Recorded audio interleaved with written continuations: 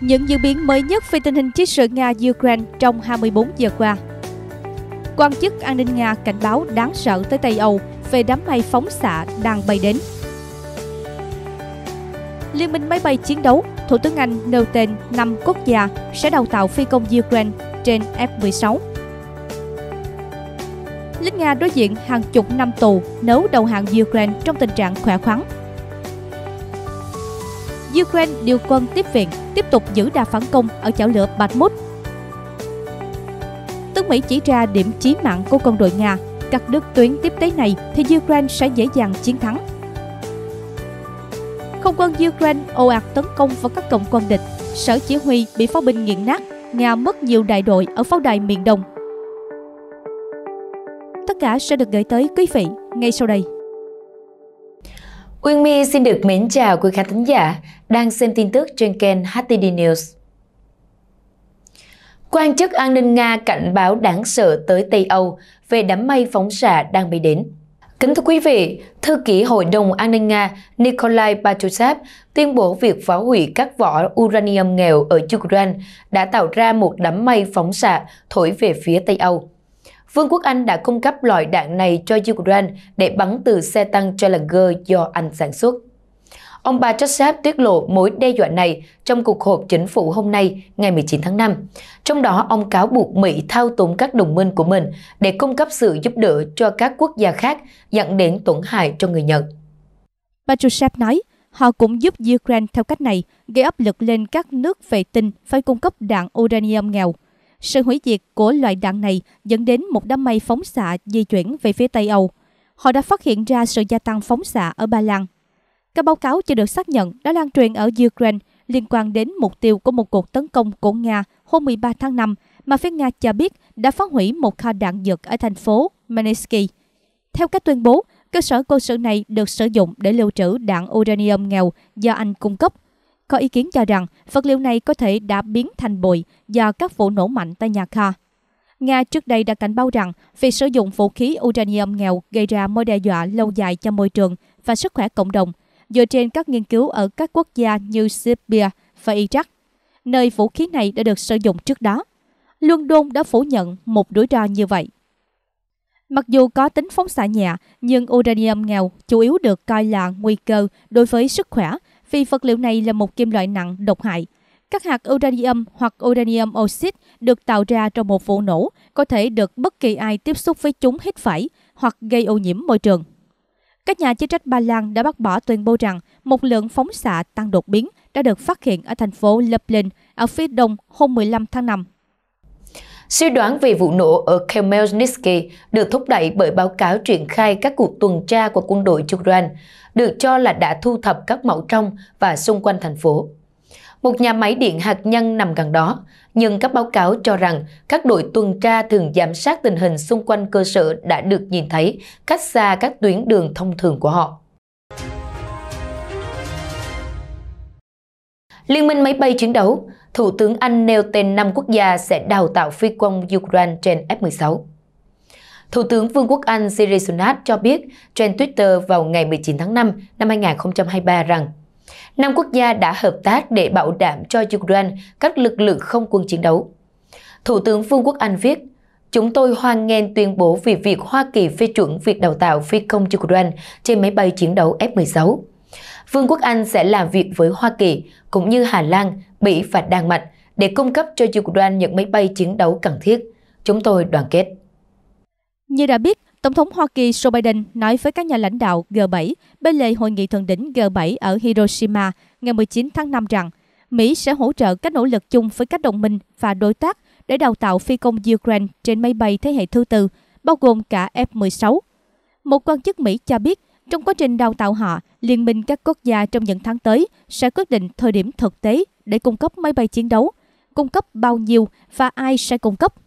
Quan chức này cho biết, các máy bay này không nhất thiết phải đến trực tiếp từ Mỹ và sẽ không được sử dụng trong cuộc phản công dự kiến của Ukraine trong cuộc chiến chống lại quốc gia xâm lược Nga. Tổng thống Ukraine Volodymyr Zelensky đã cảm ơn ông Biden vì sự hỗ trợ của Hoa Kỳ đối với Liên minh máy bay chiến đấu quốc tế. Người đứng đầu nhà nước Ukraine cho biết, Điều này sẽ tăng cường sức mạnh đáng kể cho quân đội của chúng tôi trên bầu trời. Lính Nga đối diện hàng chục năm tù nếu đầu hàng Ukraine trong tình trạng khỏe khoắn. Lính Nga sẽ bị bỏ tù nếu đầu hàng mà không bị thương nặng. Những giải thích rõ ràng như vậy đối với các tòa án Nga đã được thông qua bởi phiên họp toàn thể của Tòa án tối cao Liên bang Nga. Như vậy, một người lính Nga đã bị coi là tội phạm nếu anh ta tự nguyện đầu hàng có ý thức. Lựa chọn duy nhất khi nhà nước Nga không coi người lính của mình bị bắt là tội phạm là nếu anh ta không có khả năng trốn tránh bị giam cầm do tình trạng thể chất của mình. Tòa án tối cao Liên bang Nga cho biết trong một lời giải thích rằng, ví dụ, tìm thấy một quân nhân trong tình trạng bất lực, kể cả do vết thương nặng hoặc sốc đạn pháo. Người ta cũng chỉ ra rằng, người lính Nga có nghĩa vụ phải kháng cự kiên quyết với kẻ thù ngay cả khi bị bao vây hoàn toàn. Putin cấm người Nga đầu hàng. Vào tháng 9 năm ngoái, Nga đã thông qua luật cấm đầu hàng tự nguyện. Vì tội này, quân nhân Nga đã phải đối mặt với án tù 10 năm. Các quy định tương tự được cung cấp để bỏ qua trác đòi hầu tòa, đào ngũ và từ chối tham gia chiến tranh. Đồng thời, nhà tù rõ ràng không phải là điều tồi tệ nhất đe dọa những người lính Nga bị bắt. Quân đội chính quy Nga và Wagner thường nổ súng vào những người lính Nga nếu phát hiện một ai đó có dấu hiệu đầu hàng. Ukraine điều quân tiếp viện, tiếp tục giữ đà phản công ở chảo lửa Bakhmut. Ukraine được cho là đã triển khai lực lượng dự bị tới gần thành phố Bakhmut khi chiến sự tiếp tục leo thang. Andrei Marotko, đại tá nghỉ hưu của lực lượng dân quân Cộng hòa Nhân dân Lugan, LPR, tự xưng, nói với hãng tin TASS hôm ngày 19 tháng 5 rằng, gần Bakhmut và Chasovya, các nhóm quân dự bị riêng biệt của lực lượng vũ trang Ukraine đang được triển khai lại đến nơi cần thiết để bù đắp thương vong. Ông Maroko cho biết những người lính Ukraine bị thương được thấy chân kịp thời trên chiến trường. Thông thường, khi những binh sĩ này được sơ tán khỏi tuyến giao tranh, quân tiếp viện sẽ được đưa đến bằng xe y tế. Cùng ngày, ông Shevcheny Prigozhin, người đứng đầu tổ chức quân sự tư nhân Nga Wagner, cho biết thành phố Bakhmut khó có thể nằm trong tầm kiểm soát của lực lượng này trong vài ngày tới. Ông Prigozhin cho biết Bakhmut vẫn chưa thất thủ. Bakhmut khó có thể thất thủ vào ngày mai hay ngày kia đồng thời thừa nhận các cuộc giao tranh khốc liệt đang diễn ra ở phía tây nam thành phố. Reuters ngày 18 tháng 5 dẫn thông tin từ quân đội Ukraine nói rằng Nga đang rút lực lượng khỏi một số vị trí xung quanh Bakhmut. Trong quá trình rút lui, lực lượng Nga pháo kích các tuyến đường để chặn đà tiến công của Ukraine. Ông Prigozhin cũng thừa nhận các đơn vị của lực lượng Wagner ở Bakhmut tiếp tục tiến công, nhưng quân chính quy của Nga đã rời bỏ một số vị trí ở rìa bắc và nam thành phố khiến lực lượng Wagner có nguy cơ bị bao vây ở bên trong. Moscow thừa nhận rút một phần lực lượng khỏi các vị trí gần Bakhmut trong vòng một tuần trở lại đây, song bác bỏ thông tin của ông Prigozhin về việc phòng tuyến của Nga ở các sườn Bakhmut đổ vỡ hay việc Nga không cấp đạn dược cho Wagner. Kiev cho biết chiến thuật của họ quanh Bakhmut là lôi kéo Nga được quân vào thành phố nhằm làm suy yếu tuyến phòng thủ của Moscow ở những nơi khác trước khi Ukraine phản công. Bakhmut hiện là mặt trận khốc liệt nhất tại Ukraine.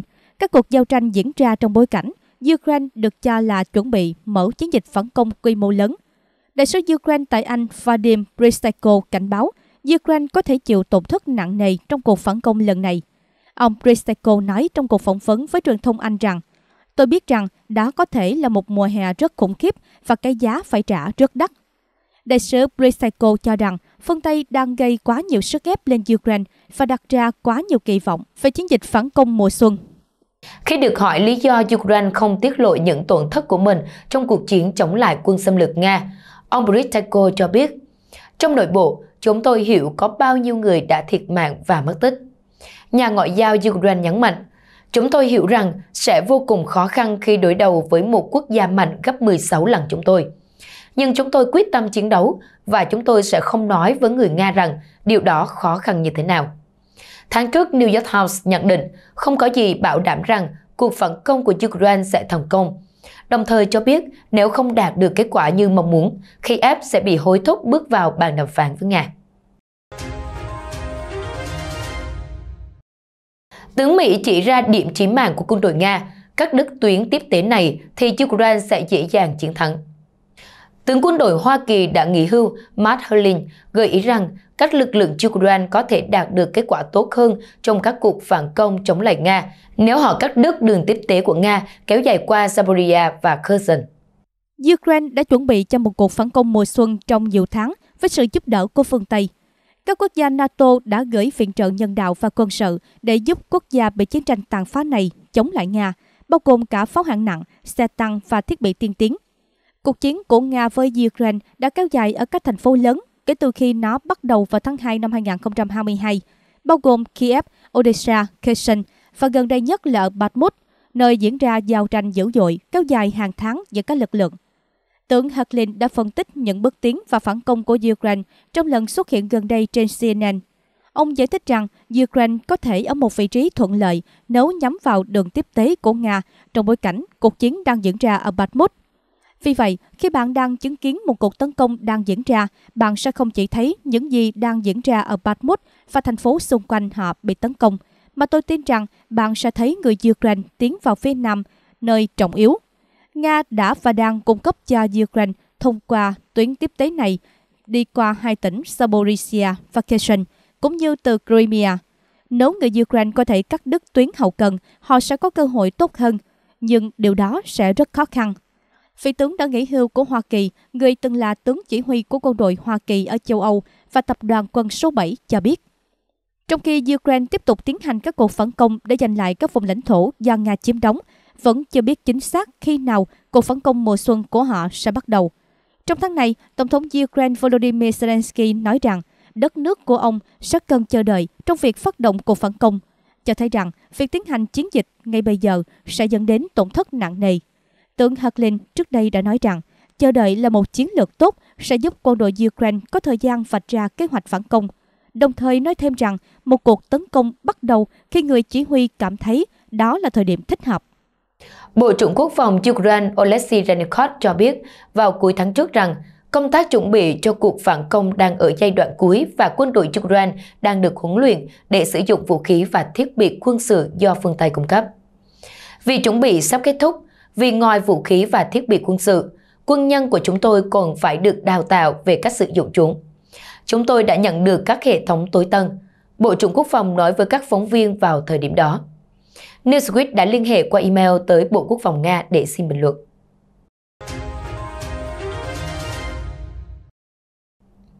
Không quân Ukraine ồ ạt tấn công vào các cụm quân địch, sở chỉ huy bị pháo binh nghiền nát, Nga mất nhiều đại đội ở pháo đài miền Đông. Bộ Tổng tham mưu lực lượng vũ trang Ukraine báo cáo, trong 24 giờ qua, lực lượng phòng vệ Ukraine đã tiến hành 12 cuộc không kích nhằm vào các cụm quân nhân và thiết bị quân sự của Nga. Báo cáo nêu rõ, trong ngày qua, lực lượng không quân Ukraine đã tiến hành 12 cuộc tấn công vào nhân viên và cụm thiết bị quân sự của kẻ thù và 4 cuộc tấn công vào các hệ thống tên lửa phòng không. Ngoài ra, quân đội Ukraine đã phá hủy 3 tên lửa loại Khalif của Nga, 16 máy bay không người lái tự sát Shahed do Iran sản xuất và hai máy bay không người lái trinh sát. Các đơn vị tên lửa và pháo binh của Ukraine đã đánh trúng một sở chỉ huy của Nga, 6 cụm thiết bị quân sự và quân nhân của đối phương – hai đơn vị pháo binh đang trong tư thế khai hỏa và 6 hệ thống tác chiến điện tử. Một lời nhắc nhở rằng quân đội Nga tiếp tục tập trung nỗ lực vào các hướng Liman, Bakhmut, Avdiivka và Marinka. 70 cuộc đụng độ quân sự đã xảy ra ở đó trong ngày qua. Trong khi đó, tổng số thiệt hại của quân đội Nga gần Bakhmut ở khu vực Donetsk, bao gồm cả những người thiệt mạng và bị thương, được Bộ trưởng Bộ Quốc phòng Ukraine Oleksiy Krasnikov ước tính vào khoảng 70.000 binh sĩ. Ông nói về điều này bên lề diễn đàn Ukraine-Hoa Kỳ. Bộ trưởng Renikot nói, theo ước tính của chúng tôi, họ, người Nga, mất một tiểu đoàn mỗi ngày ở đó và tiếp tục như vậy. Ông nhấn mạnh rằng những chiến sĩ bảo vệ Bakhmut làm giảm khả năng tấn công của quân xâm lược và do đó ngăn cản họ tiếp tục tấn công ở các khu vực khác của chiến tuyến.